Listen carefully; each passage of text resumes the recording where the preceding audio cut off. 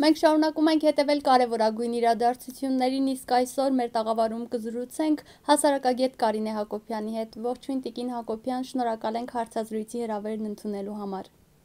Բարև ձեզ։ Տիկին Հակոբյան, քանի որ մեզ մոտ սպասվում են արտահերթ խորհրդարանական ընտրություններ եւ բոլոր դաշինքները եւ կուսակցությունները մասնակցում են քարոզարշավին, իսկ մեր TV սկզբունքային մոտեցումներից մեկն էլ այն է, որ չենք խառնվում Հայաստանի ներքին քաղաքական խնդիրներին, սակայն մեզ բնականաբար հետաքրքիր է թե որ քաղաքական ուժը ինչ ծրագրեր է ներկայացնում Արևմտյան Հայաստանի հետ կապված, կխնդրեմ այս մասով վերլուծել իհարկե դուք հետևում եք ընթացքին եւ ծանոթ եք կուսակցությունների ծրագրին այնքան որքան որ ներկայացնում են եւ նկատել եք որ մի մասը որոնք իրենց հրճակում են որպես ազգային ուժեր առանձնահատուկ կարևորում են եւ մշակույթը եւ մեր պատմությունը, ավանդույթներ եւ այլն, իսկ մյուս մասը պարզապես իրենց հրճակում են ազգային ուժեր, եւ այսինքն ազգային ասելը դեռ չի նշանակում որ բոլոր այդ կուսակցությունները ունեն նույն հայեցակարգը մեր պատմության, արտաքին քաղաքականության եւ մշակույթի վերաբերյալ։ Դա նույն համատեքստում է, գիտեք, Երբ մենք Արցախի մասին ասում ենք, որ պետք է հանձնենք, որովհետև հասկանում հայրենիքը չեն հանձնում ընդհանրապես։ Անկախ պետությունն ես հիմնադրում եւ քո առաջին համոզմունքը այն է, որ դու պիտի հանձնես այդ դեպքում, եթե դու պիտի հանձնես, ինչու սկսեցիր այդ շարժումը եւ սեղանին դրված քննարկելու նյութը այն է թե մեկ փաթեթով հանձնենք թե փուլերով հանձնենք եւ գանք կանգնենք այս զրոյական կետին եւ դա կոչվում է փողզիջում, դա կոչվում է զիջում, բարերը պետք է ճիշտ գործածել։ Երբ արդեն Արցախը, որ մեր այսօրվա հենց իրակ, իրականությունն է, մենք այդպես ենք վերաբերվում, ինչպես կվերաբերվենք եւ ինչպես ենք վերաբերվում բնականաբար Արևմտյան Հայաստանին։ Արևմտյան Հայաստանը իրենց համար ընդհանրապես իրենց այսպես բառապաշարում դա խելացնոր մի գաղափար է։ Եթե ներկա կուսակցությունները վերաբերվում են այնպես, ինչպես հենց նոր ներկայացրեցիք, իսկ դուք ինչպես եք վերաբերվում Արևմտյան Հայաստանի Հանրապետության գաղափարին, կուզեի լսել ձեր կարծիքը։ Ինձ թվում է, ընդհանրապես հայ ժողովրդի մեջ պետք է մեկ կարծիք լիներ այդ հարցում, որովհետև կան քննարկման ենթակա հարցեր, եւ կան հարցեր, որոնք արժեքներ են, ոչ թե հարցեր են։ Եվ երբ ժողովուրդը սկսում է քննարկել իր արժեքային համակարգը, նշանակում է այդ արժեքային համակարգը խարխլված է։ Արևմտյան Հայաստանը մեր պատմական հայրենիքը եւ այնտեղ վերադառնալու մեր իղձը ձգտումը, որը պետք է ծրագրերով մենք այսպես երկարաժամկետ թեկուս ծրագրերով իրականացնենք, դա մեր արժեքային համակարգում, այսպես վերին սանդղակի վրա պետք է դրված լինի եւ դա պետք է քննարկման ենթակա չլինի, եթե դուք հարցնում եք իմ կարծիքը, ապա իմ կարծիքով քրեորեն պետք է պատժելի լինի դրա մերժումը։ Դա նույնն է մերժել ցեղասպանությունը, կան երկրներ, որոնք քրեորեն պատժում են ցեղասպանության մերժումը։ Եթե մենք հրաժարվում ենք մեր պատմական հայրենիքից, մենք մերժում ենք ցեղասպանությունը, իսկ ինչ է ցեղասպանությունը, դա պահանջատիր ցեղասպանության պահանջ, այսինքն հայդատը, որը նույնպես հեգնանքի է արժանանում իմ նշած կուսակցությունների կողմից նկատի ունեմ հակը եւ այսօր ԿՊ-ն ԿՊ-ն գործով գործով դա խոսքով ամեն ինչ կարող է ասել խոսքով կարող է ասել արևմտյան Հայաստանը մերն է եւ վերջ Եվ դա ամենից վտանգավորն է, դա ավելի վտանգավոր է, քան հակը, որը չի ཐակցնում իր համոզմունքները։ Ինքը ասում է, դա իր տեսություն է սխալ է, դա իրատեսություն չէ, դա հորետեսություն է եւ դա պարտվողական քաղաքականություն է։ Պարտվողական պետություն չի կարող կառուցվել եւ զարգանալ պարտվողական քաղաքականություն վարելով։ Ի սկզբանե հանձնենք հայրենիքը չեն հանձնում եւ մենք պետություն ենք ստեղծել անկախ Հայաստանը, որպեսզի մեր հայրենիքը որը այն հայրենիքը չէ, որ այսինչ փաստաթղթով այսպես է ստորագրված, այնինչ փաստաթղթով բազմաթիվ փաստաթղթեր կան։ Այդ դեպքում մենք հենվենք այն փաստաթղթերի վրա, որոնք որ իշահմեզ են, Բազմաթիվ փաստաթղթեր կան, գիտենք։ Ինչու ենք մենք հենվում Ստալինի ստորագրած ինչ որ մի որոշման վրա կամ Եթե այդպես է թղթի կտորով մի ստորագրությունով չէ, հայրենիքը, պատմությունը, մշակույթը հազարամյակների մեր ինքնությունը մի ստորագրությունով է։ Եվ այդ դեպքում ինչու մենք անկախ հանրապետություն հիմնադրեցինք, եթե պետք է հանձնվենք, հասկանում եք, հանձնվելու քաղաքականություն է քարոզվել առաջին իշխանության ժամանակ ՀՀՇ-ի եւ այսօր այս ընտրապայքարում ներկա իշխանությունը որը գիտեք իրեն արտահայտությունները ինչ է Շուշին կամ կամ վերջապես ազատվեցինք Արցախից իրենց ծրագիրը, որ ամբողջությամբ ազատվեինք եւ փոկվեինք Ռուսաստանից եւ այստեղ այլևս այլ քաղաքական կողնորոշում լինել։ Այդ իսկ պատճառով ես պարզապես կարծում եմ, որ այս ընտրությունները հիմնականում Հայաստան իշխ, Հայաստանի իշխանության արտաքին քաղաքականության կողմնորոշման ընտրությունն է։ Հասարակությունը պետք է իմանա ինքը գնում է ընտրության հիմնականը այն որ ընտրում է ինքը արտաքին քաղաքականության, այդ պետք է արտաքին քաղաքականությունը կարդալ։ Տիկին Հակոբյան, այսօր ինչքանով է արդիական Սևրի դաշնագիրը եւ Հայաստանը ինչ դաշնակցային հարաբերություններ պետք է ձևավորի, որպիսի կարողանանք հողերի պահանջ ներկայացնել։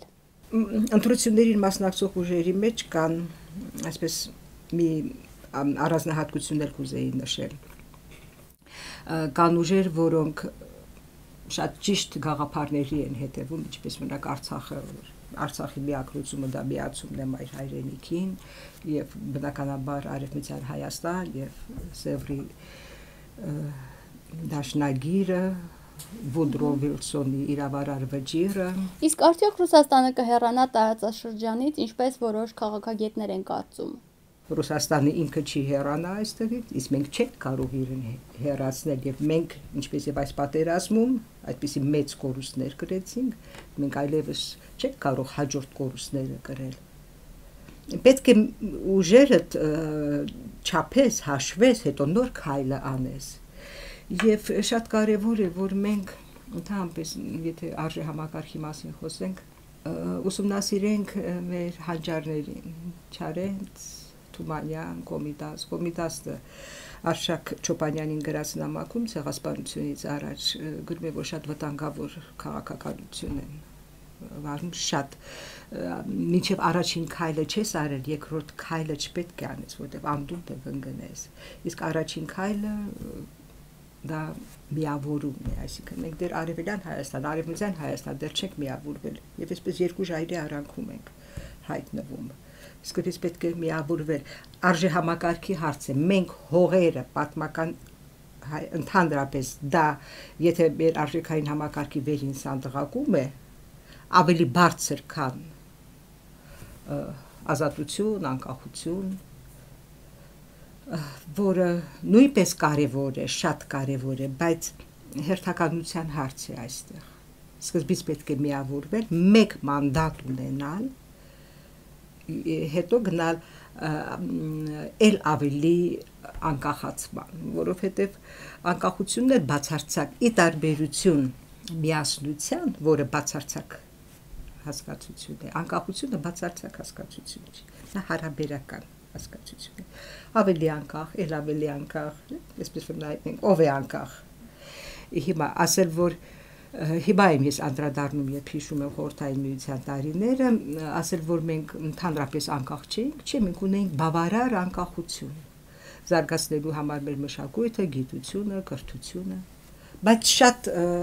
հարցեր մեզ չէր բավարարում մենք ուզում էինք ել ավելի անկախ լինել եւ ճիշտ է որ ուզում էինք ազգը միշտ պետք է ձգտի ել ավելի անկախության եւ ինքնուրույնության բայց միշտ հաշվի առնելով իր հնարավորությունները եւ ուժերը, բայց առաջին արժեքը